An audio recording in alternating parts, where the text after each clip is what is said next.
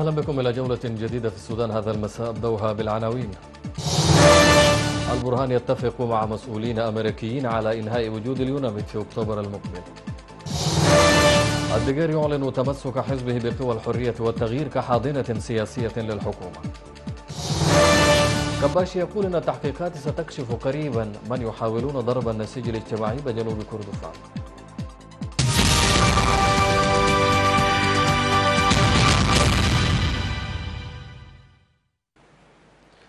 أهلا بكم. اتفق رئيس المجلس السيادي مع مساعد وزير الخارجية الأمريكي للشؤون الأفريقية ومع المبعوث الأمريكي الخاص للسودان خلال اتصال هاتفي على إنهاء أمد بعثة اليونميد في أكتوبر المقبل. وقال لا مجال للتجديد لها وأن مهام البعثة الأممية الجديدة ستكون وفق الرؤية الوطنية التي تضمنها خطاب السودان للأمم المتحدة في السابع والعشرين من فبراير الماضي. وعبر رئيس مجلس السيادة للمسؤولين الأمريكيين ناجي وبوث عن تقدير السودان لما قدمته الولايات المتحدة الأمريكية من دعم له لمواجهة جائحة كورونا ودعماه ودعاهما لدفع جهود مفاوضات السلام التي تستضيفها عاصمة دولة جنوب السودان جوبا وذلك لرفع اسم السودان من قائمة الدول الراعية للإرهاب. وأكد أن الحكومة الانتقالية بكل مؤسساتها تعمل في تناغم وانسجام تام. أعلن حزب المؤتمر السوداني تمسكه بقوى الحرية والتغيير كحاضنة سياسية لحكومة الفترة الانتقالية ونفى ما تناقلته وسائل التواصل الاجتماعي بانسحابهم منها ودعا إلى وحدة شعبية عريضة خلف رؤية وطنية متوافق عليها للانتقال إلى استكمال مهام الثورة. وقال رئيس حزب المؤتمر السوداني عمر الدقير في لقاء إعلامي بوكالة السودان للأنباء إن قوى الحرية والتغيير تواجه مصاعب حقيقية ينبغي مواجهتها والعمل على تجاوزها والمتمثلة في قصور هياكل التحالف وعدم وضوح الرؤية السياسية في عدد من قضايا المرحلة الانتقالية المفصلية وعدم وجود تمثيل عادل للقوى الرئيسية ذات الثقل الكمي والنوعي. فضلا عن غياب قنوات مؤسسية تربط بين الحرية والتغيير والحكومة الانتقالية وضعف الصلة المؤسسية بين الجسم المركزي لقوى الحرية والتغيير وتنسيقياته. وأشار الدقير إلى أن الصيغة القديمة التي سادت في الحرية والتغيير تحتاج إلى مراجعات جذرية وذلك عن طريق الإسراع بعقد المؤتمر التداولي بحضور كل المكونات الموقعة على إعلان الحرية والتغيير ولجان المقاومة وممثلي تنسيقيات الحرية والتغيير في الولاية هو طبعا ده واحد من إبداعات. وده طبعا أكبر تحالف سياسي يمكن في تاريخ السودان الحديث وأنجز إنجاز غير مسبوق وتمكن من إنجاز التغيير وانه يقنع الطيف الأكبر من جماهير الشعب السوداني إنها تلتف حوله وهو يمشي معاها في إنجاز التغيير. وده ما حصل يعني. لكن ما هو واضح إنه دي تفرغت كده يعني ما أصبح خندق الثورة هو واحد. وبالتالي نحن عايزين نعود إلى خندق واحد كلنا نكون موجودين فيه. ما في أي فرصة لأي شخص أو قوة سياسية تكون في خندق منفرز عن خندق الجماعة بتاع الثورة. فبالتالي نحن متمسكين بقوى الحرية والتغيير. كحاضنة هي لمسيرة التغيير ده. ولكن يجب أن نعترف إنها هي محتاجة لإصلاح ومحتاجة لتصحيح وتطوير. قال عضو مجلس السيادة الانتقالي شمس الدين كباش إن التحقيقات ستكشف قريبا عمن يحاولون ضرب النسيج الاجتماعي بولاية جنوب كردفان. وعزى كباشي لدى مخاطبته لقاء الفعاليات الشعبية بمدينة أبو جبيهة عز الأحداث الأخيرة بالولاية التي راح ضحيتها أكثر من خمسين مواطنا وخلفت حوالي أربعين جريحا إلى تداعيات الحرب التي طال أمدها بالولاية وجدد حرص الحكومة على تحقيق السلام في ربوع البلاد عبر التفاوض وأكد أن تحقيق السلام يمثل هدفا استراتيجيا لحكومة الفترة الانتقالية. أي الوقت اللي سيتم الكشف عن الذين يسعون لتفتيت النسيج الاجتماعي والتعايش السلمي الموجود في ولاية جنوب كردفان اللي عرفت بأنها هي ولاية نموذج وتمثل لوحة للسودان الكبير. إحنا كنا بنقول الدار يشوف السودان يشوف جنوب كردفان. لكن اللي حصل كان شيء مؤلم. على كل الخسائر كانت كبيرة. لحد آخر حاجة 56 شهيد. 41 جريح من المدنيين والعسكريين والصراع يمكن اللي زاد في آه هذه النسبة الكبيرة في نسبة الخسائر يمكن يعني آه تشير الدلائل إلى تورط عناصر من بعض القوات النظامية. من جانبه قال وزير الحكم الاتحادي يوسف آدم الضي إن وزارته ستعمل على صياغة الحكم المحلي وإحياء الجانب التنموي بما يحفظ حقوق المحليات وتفعيل دور الإدارة الأهلية في حل القضايا الأمنية بجانب العمل على معالجة احتياجات الإدارات الأهلية مع وزارة المالية. نحن من جانبنا وزارة الحكم ال- الاتحادي نحن شغالين الآن باتجاه ترسيخ التنمية في المحليات أي باستعادة الحكم المحلي المستوى التالي. ده مستوى كان مغيب مغيب لأنه كان في مركزية قاتلة جدا وبالتالي الجانب التنموي فيه كان ضعيف لأنه مسلوب الإرادة ما عنده موارد حتى الموارد هي صحيحة كإمكانات موجودة لكن الموارد كان وين بتمشي؟ تمشي المركز.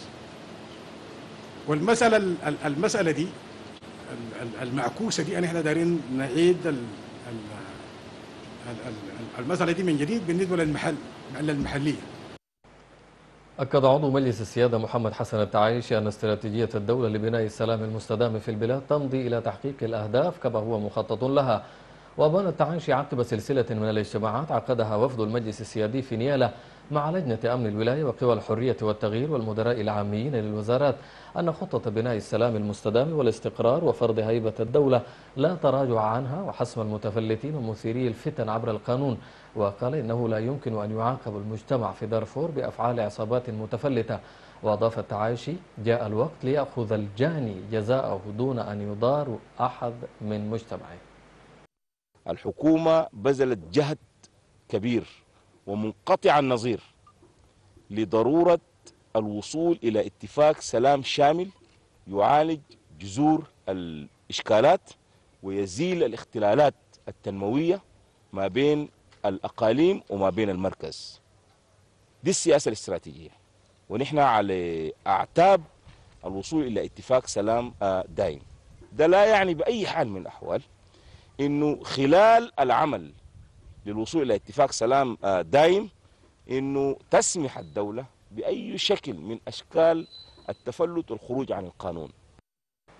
انتشرت قوات الدعم السريع بشكل واسع في مناطق ولاية جنوب دارفور التي شهدت اضطرابات أمنية بسبب النزاعات القبلية خاصة مناطق محلية أم دافوق على حدود السودان مع أفريقيا الوسطى. وأعلنت قيادة قوات الدعم السريع منع التجمعات واستخدام الدراجات البخارية ولبس الكدمون.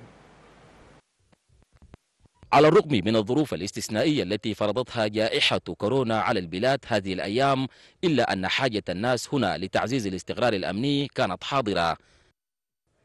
هنا في أم دافوق كانت تأكيدات قادة المنطقة على التمسك بالاستقرار ودعم جهود الحكومة للقضاء على عصابات التفلت ومثير النزاعات والمحافظة على علاقة حسن الجوار ومساعدة القوات النظامية على تحقيق أهدافها.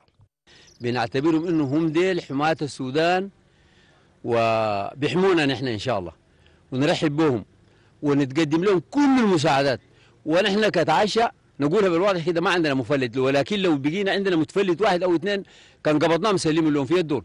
اشتغلنا شغل للأفارقة ذاتهم كده في بعضهم إنه صالحنا منهم يمكن ثلاثة مكون رئيسي اللي هم الكاراء والصراء والهوسة.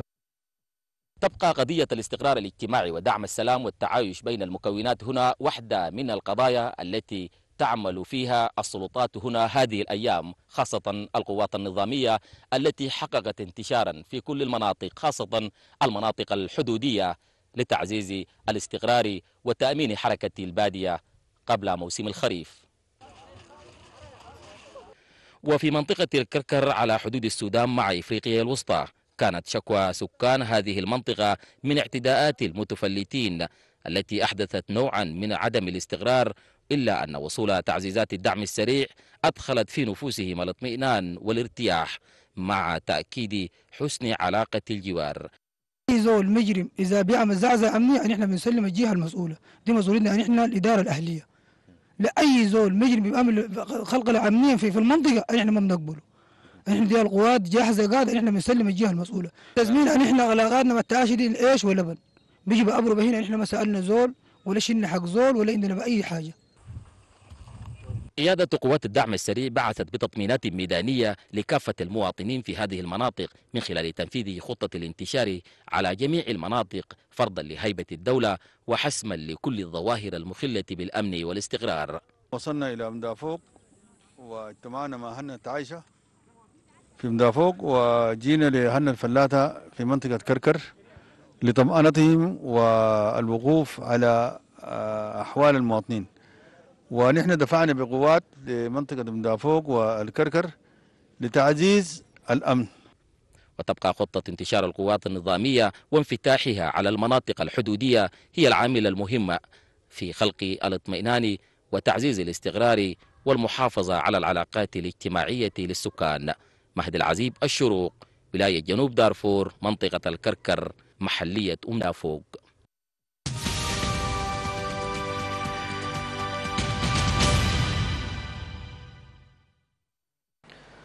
أكدت وزارة الصحة تسجيل 156 إصابة جديدة بفيروس كورونا وخمس حالات وفاة منها أربع في ولاية الخرطوم وحالة واحدة في ولاية الجزيرة. أوضحت وزارة الصحة أن الحالات الجديدة سجلت منها 42 إصابة في الخرطوم والإصابات الأخرى في خمس ولايات. وبهذه الحالات الجديدة يرتفع العدد الكلي للمصابين بالفيروس في السودان إلى 3976 حالة بينها 170 وفاة فيما ارتفع عدد المتعافين إلى 502 شخص. وشددت وزارة الصحة على أهمية التزام المواطنين بتطبيق الإرشادات الوقائية والتبليغ الفوري عن حالات الاشتباه اطلع وفد رفيع المستوى من مجلس السيادة والوزراء برئاسة صديق تاور على مجمل الأوضاع الصحية والأمنية والخدمية بولاية سنار.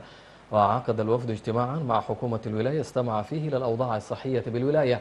وقالت عضو مجلس السيادة رجاء نيكولا إن زيارة مجلس السيادة والوزراء لسنار تأتي للوقوف على وضع الولاية وجهودها في إبطاء انتشار فيروس كورونا. وأشادت بجهود وزارة الصحة بالولاية والكادر الطبي في التعامل مع وباء كورونا. الحمد لله يعني آه، نورونا آه، الوالي نورنا ومدير ال- الصحة آه، نورنا وأعطانا تقرير آه، عن آه، عن آه، مجابهتهم لوباء كورونا. وعرفنا إنه الحمد لله إنه عدد ال- الإصابات عندكم ما لم تتجاوز ال 283 والحمد لله إنه الوفيات واقفة في حد لحد العدد عشرة. وفي حالات شفاء آه، لا بأس بها. وجد أنا يعني أكثر حاجة يعني أعجبت بها بها إنه في مركز عزلي في كل مستشفى. من جهته قال وزير الثروة الحيوانية والسمكية عم الدين بشر إن ولاية السنار ومن خلال التقارير الصحية قطعت شوطا في التعامل مع جائحة كورونا وأكد دعم المركز لدرء كورونا ودعا بشر المواطنين بسنار إلى تعزيز ركائز السلم الاجتماعي والتعايش المجتمعي بالولاية. شكلت الحكومة الوفود لعدد من الولايات لمعرفة ما يجري في الولايات والاطمئنان على أحوال الصحة العامة من جائحة كورونا ونحن الحمد لله في مدينة سنجا حاضرة ولاية سنار ولاية الخير ولاية العطاء. آه، عقدنا اجتماعين. الأولى كانت مع الحكومة. حكومة ولاية سنار وكان اجتماع موفق ناقش فيها العديد من الأجندة. كان في مقدمتها جائحة كورونا وكيف نقدر نحاصر ونقلل من جائحة كورونا. دعت الغرفة المركزية المشتركة لطوارئ كورونا بولاية الخرطوم إلى ضرورة الموازنة بين الالتزام الصارم بالاشتراطات الصحية للوقاية من مرض كورونا وبين ضرورة معالجة أوضاع الفئات المتأثرة بالحظر الصحي. واستعجلت اللجنة أهمية الإسراع بتوصيل دعم الدولة لتلك الفئات والاستمرار في تقديم السلع من المنتج إلى المستهلك من المنتج إلى المستهلك وتسهيل حركة المواد الغذائية بالمدن. فيما قررت اللجنة الاستمرار في تنظيم حركة حاملي التصاريح المرورية والتأكد من استخدام التصريح للغرض الممنوح له مع تسهيل مرور أفراد ومجموعات الطوارئ الصحية. كما استمعت اللجنة لتقارير من المديرين التنفيذيين بالمحليات حول توفر خدمات الوقود والخبز وأعمال النظافة والعمل على معالجة قطوعات المياه في بعض المواقع. وزعت معتمدية اللاجئين بولاية شمال كردفان بالتعاون بولاية شمال دارفور بالتعاون مع المفوضية السامية للاجئين وبرنامج الغذاء العالمي حزمة غذائية متكاملة للاجئين من دولة جنوب السودان المتواجدين بالفاشر. وتشمل المساعدات الذرة والدقيق والسكر والزيت لعدد 496 أسرة ما يقارب 1500 فرد وذلك لمقابلة حالة الحظر التي فرضتها جائحة كورونا. وأشاد مدير مكتب معتمدية اللاجئين بالولاية محمد أحمد زريبة بالتجاوب الذي وجدته المعتمدية من مكتبي المفوضية السامية للاجئين وبرنامج الغذاء العالمي في توفير الحصة الغذائية قال إنها تكفي لثلاثة أشهر واستعرض زريبة جهود المعتمدية لمكافحة جائحة كورونا بتوفير وسائل نظافة وحماية شخصية تمثلت في طلمبات رش ومعقمات وأسرة لدعم مركز العزل والحجر باللعيد إلى جانب تشييد ثلاثة مراكز لمقابلة أي تسلل محتمل للاجئين من دولة جنوب السودان بالإضافة إلى فتح ثلاثة مراكز أخرى ودعمها بالمعينات والمواد الضرورية. في إطار الوضع المستجد لمرض كورونا حول العالم وخاصة في ولاية شمال دارفور وجود وباء لهذه الحالة. قدمنا بعد مراسلات ومكاتبات وإيميلات بين أخواننا في منظمة الأمم المتحدة منظمة الغذاء العالمي ومفوضية سامي شؤون اللاجئين. قدرنا إنه آه، نوفر غذاء لمدة ثلاث أشهر للاجئين في مدينة الفاشر.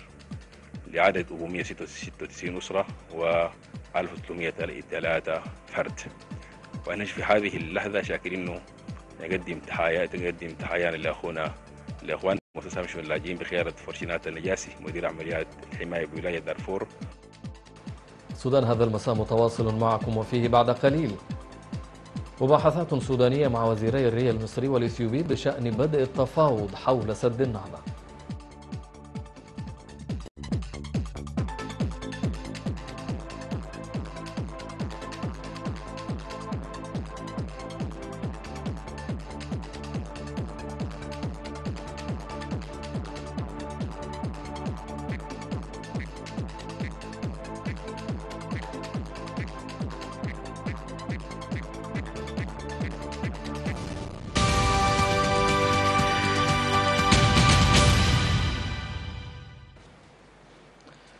أهلا بكم من جديد وإلى هذه الجولة في أخبار العالم حيث قالت القيادة العسكرية الأمريكية في أفريقيا في بيان اليوم الثلاثاء أن روسيا نشرت مؤخرا مقاتلات عسكرية في ليبيا لدعم مرتزقة من الروس يقاتلون هناك. وقال البيان من المرجح أن توفر الطائرات العسكرية الروسية دعما جويا وثيقا ونيرانا هجومية لمجموعة واغنر التي تساند الجيش الوطني الليبي في قتال حكومة الوفاق الوطني المعترف بها دوليا. وأضاف أن الطائرات وصلت من قاعدة جوية في روسيا بعد أن توقفت في سوريا حيث أعيد طلاؤها للتنويه على أصلها الروسي ولم يتسنى على الفور الاتصال بمسؤولين في روسيا للتعليق. وكانت بعثة الأمم المتحدة في ليبيا قد أدانت ما تصفه بتدفق سيل هائل من السلاح والمقاتلين على ليبيا انتهاكا للحظر على تزويد الأطراف الليبية بالسلاح. قال الرئيس الروسي فلاديمير بوتين اليوم الثلاثاء أن روسيا ستقيم العرض العسكري السنوي بمناسبة يوم النصر في الحرب العالمية الثانية في الرابع والعشرين من يونيو بعد تأجيله بسبب فيروس كورونا المستجد واضطر بوتين لتأجيل احتفالات روسيا بيوم النصر في التاسع من مايو بما فيها العرض العسكري الكبير الذي كان سيقام في الميدان الأحمر بمناسبة مرور 75 عاما على انتصار السوفييت في الحرب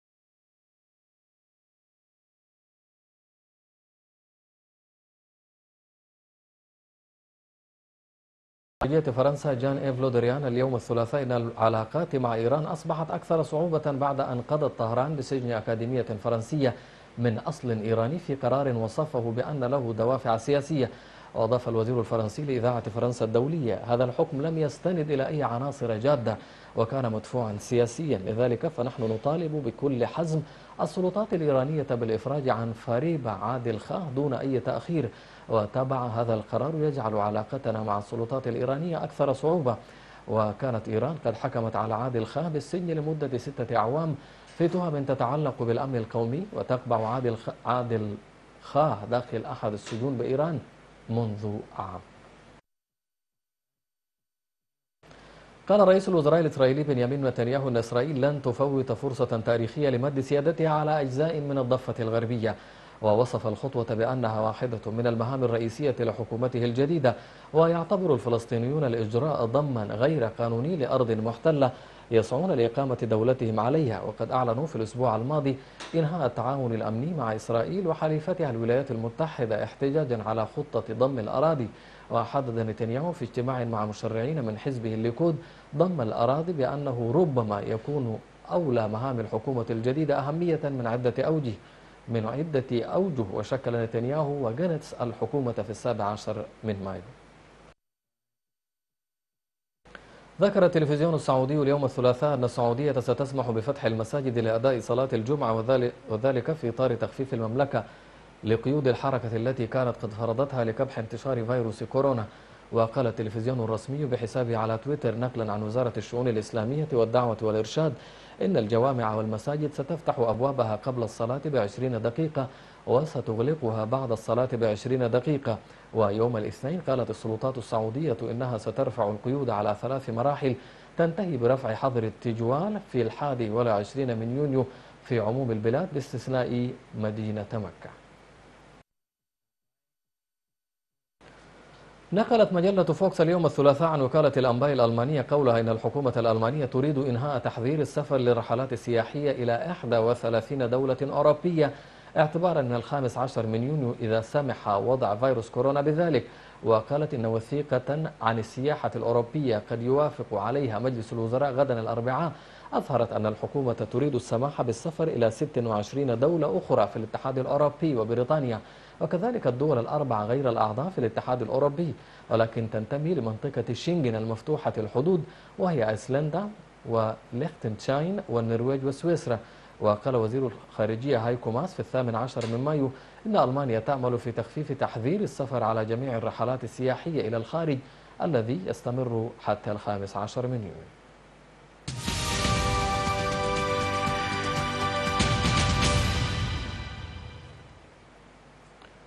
في أخبار الاقتصاد عقد وزير الري والموارد المائية ياسر عباس اجتماعين منفصلين مع نظيريه وزير الموارد المائية والري المصري محمد عبد العاطي وسيلشي بغلي وزير المياه الأثيوبي لبحث ترتيبات استئناف مفاوضات سد النهضة قريبا.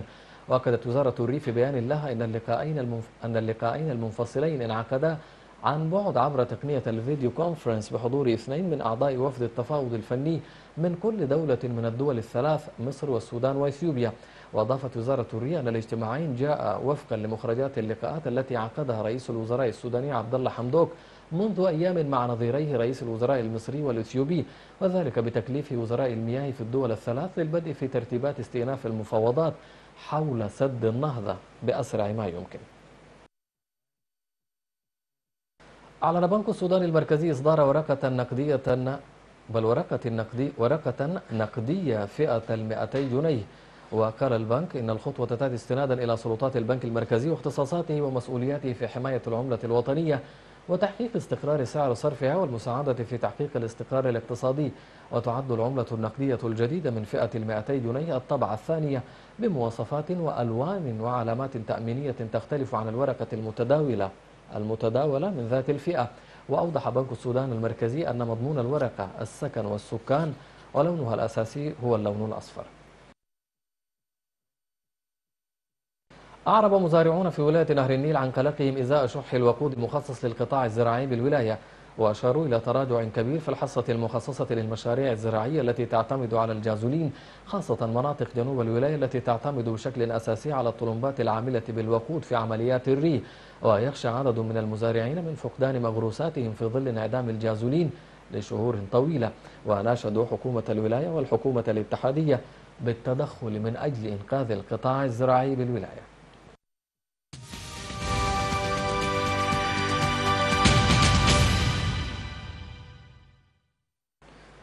في أخبار الرياضة أبدى نادي هلال الأبيض رفضه القاطع لمقترح إلغاء الدوري الممتاز وهددت إدارة نادي هلال الأبيض بقرارات وصفتها بالقوية حال تم اتخاذ قرار بإلغاء المنافسة. وقال نائب رئيس هلال الأبيض ناجي علي إن ناديه يؤمن على إكمال الموسم وأضاف أن فريقه الأقرب للتتويج باللقب. ويحتل هلال الأبيض المركز الثالث في منافسة الدوري الممتاز قبل توقف المنافسة بسبب جائحة كورونا. ويعتقد أنصار النادي أن فريقهم مؤهل لنيل لقب المنافسة هذا الموسم. وقال نائب رئيس هلال الأبيض إنه لا يمكن تتويج ناد دون إكمال المنافسة.